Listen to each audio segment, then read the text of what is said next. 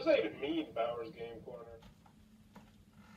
Ahoy there, YouTube! I'm back again today for another game review. And today, I'm very excited to check out Fiery Dragons from Haba Games. This is for 2 to 4 players, ages 5 plus. It'll take you about 10-15 minutes to play. And in Fiery Dragons, you're going to take control of a little dragon and you're going to try and go all the way around a volcano and go back to your cave. I'm assuming you're going to pick up, you know, a sandwich or something like that and go back to your cave. But it's a memory matching game where you're going to be trying to remember where bats are, and where spiders are, and where salamanders are on the tiles in the center of the board. What am I talking about? Let's open it up, and I'll tell you what I think. Alrighty then, we're going to take a look at what you're going to get inside of Fiery Dragon. So first and foremost, we got a handy dandy rule booklet.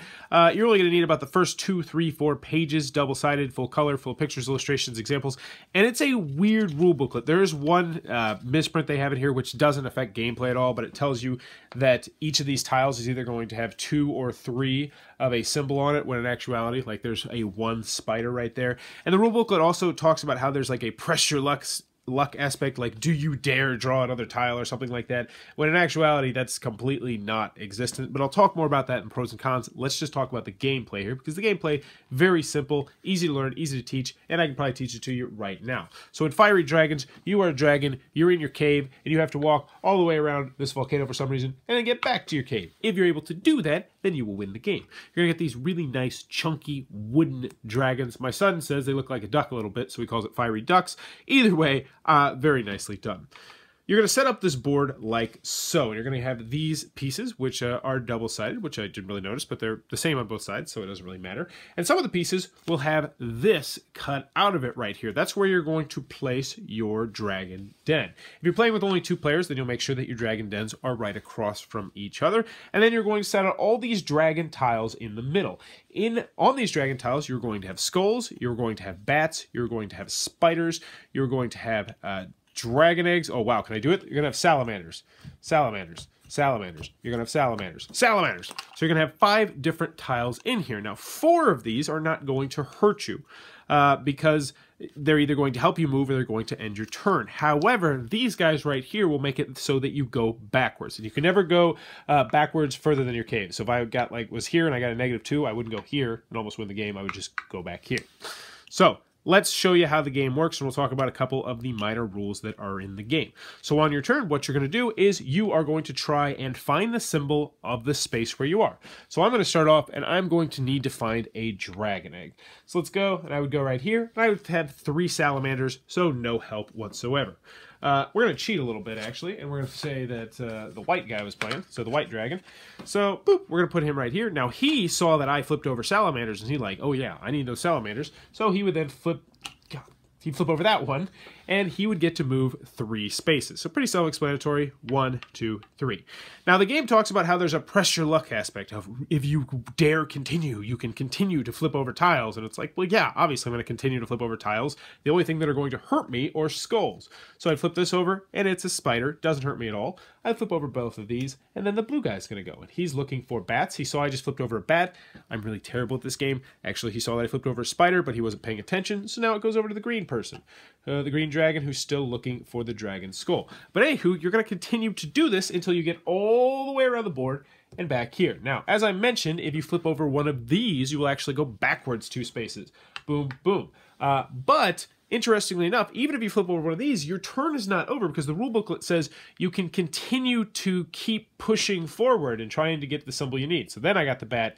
Now my turn would be over.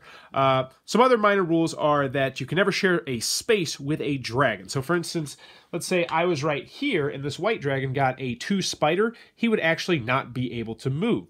Also, oddly enough, if I were to get, say, these two skulls right here, I would not be able to go backwards because then I would be on the same space as him. The rules just mention that you can't share the same space as someone else, and if you do, or if you were about to, then that would end your turn. But anywho, you're going to continue to go around in the circle until you get back to your cave. You have to get back to your cave exactly. So if I was right here, I would need to get a three bat in order to successfully get into my cave. But once you get in there, you will be the winner of Fiery Dragons. And that, in a nutshell, is how the game's played.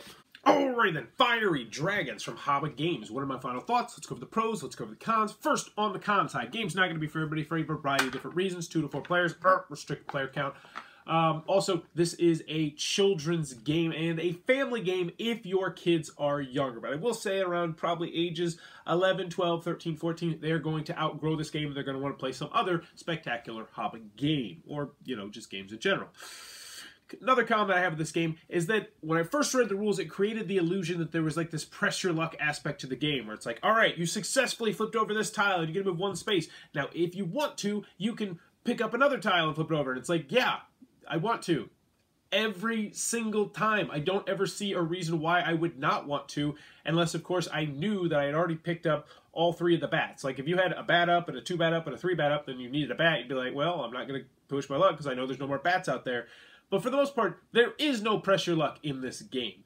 And the big deterrent in this game are those skulls. But even the skulls aren't that big of a deal. Like, you get a skull, your turn's over. Oh, wait, actually, no, your, your turn's not over. You get to keep going for some reason. And even it makes it sound like if you choose to keep going after getting a skull, yeah, I choose to keep going after I get a skull. Why would I not choose to keep going? I want to move my dragon. I just didn't understand how they worded the rules and how the game worked. It just seemed like a really odd design choice. I know I'm nitpicking a game made for five-year-olds about design choices, but still, I have such a high quality uh, standard of quality with Haba games that something like this just seemed a little bit off to me. Any other cons that I have with the game?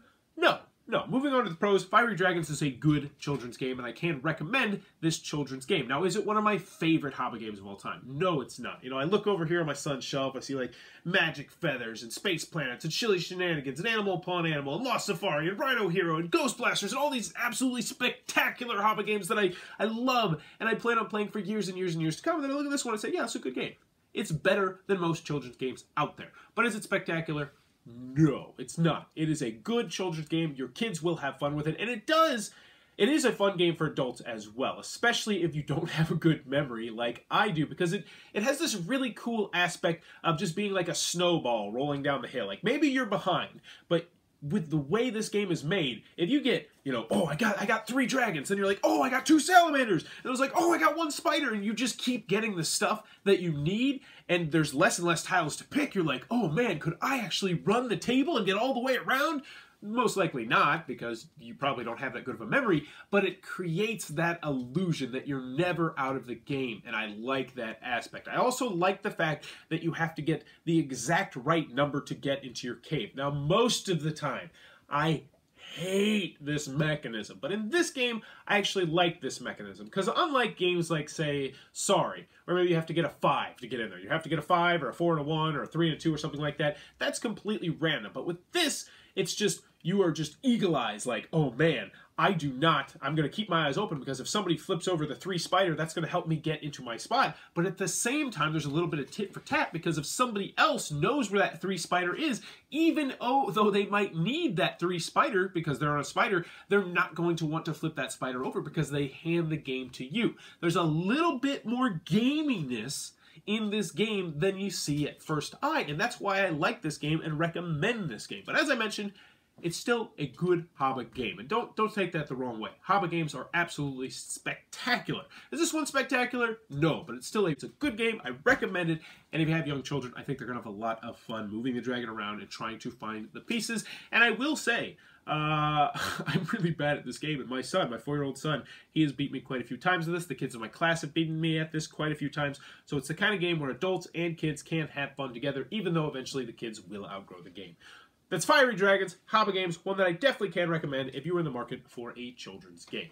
If you enjoyed this review, please be sure to click on that subscribe button down below and in the comments below. Let me know. Dragon Cave, how much money would I have to give you to go into a Dragon Cave and steal something?